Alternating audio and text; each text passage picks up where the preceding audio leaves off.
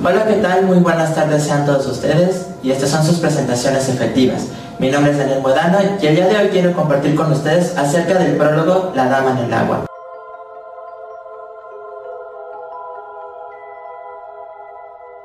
Dirigida por el director M. Night Shyamalan y estrenado en el año 2006, junto con la participación de Paul Giamatti y Bryce Dallas Howard, en el cual nos narra la historia de un hombre tras haber sufrido un suceso que lo marcó de por vida, se encuentra en un edificio departamental, en el cual su labor es mantener acerca todo, todo el orden en este edificio.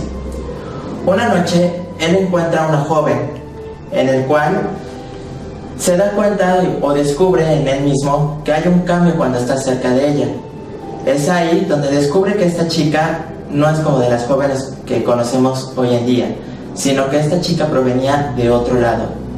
Por lo tanto, su misión es hacer que esta joven regrese a casa.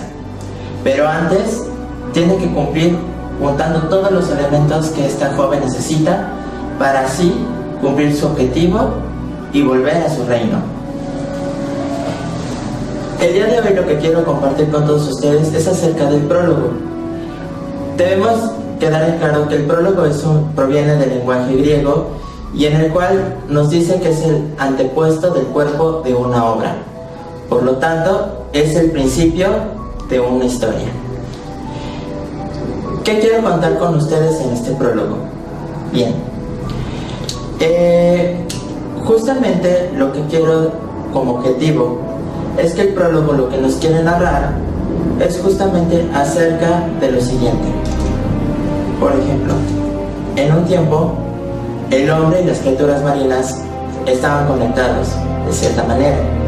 Y justamente ellas les inspiraban, les contaban historias y les hacían ver el futuro, lo cual hacía que esto se creara una armonía entre todos ellos.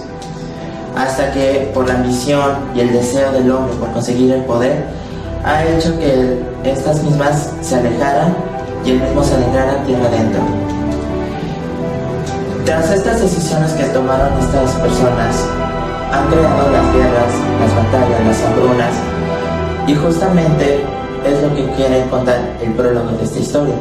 Porque justamente es cuando las criaturas nuevamente quieren intentar que el hombre esté conectado y descubra y empiece a escuchar que hay un mundo alrededor. Como objetivo quiero decir que esto nos está haciendo entender que Desgraciadamente, hoy en día en el mundo se están viviendo acontecimientos que nos están afectando no a una o a dos personas, sino nos está afectando a todo el mundo. La cuestión económica, las hambrunas, las guerras, las diferencias de clases sociales, entre otras cosas.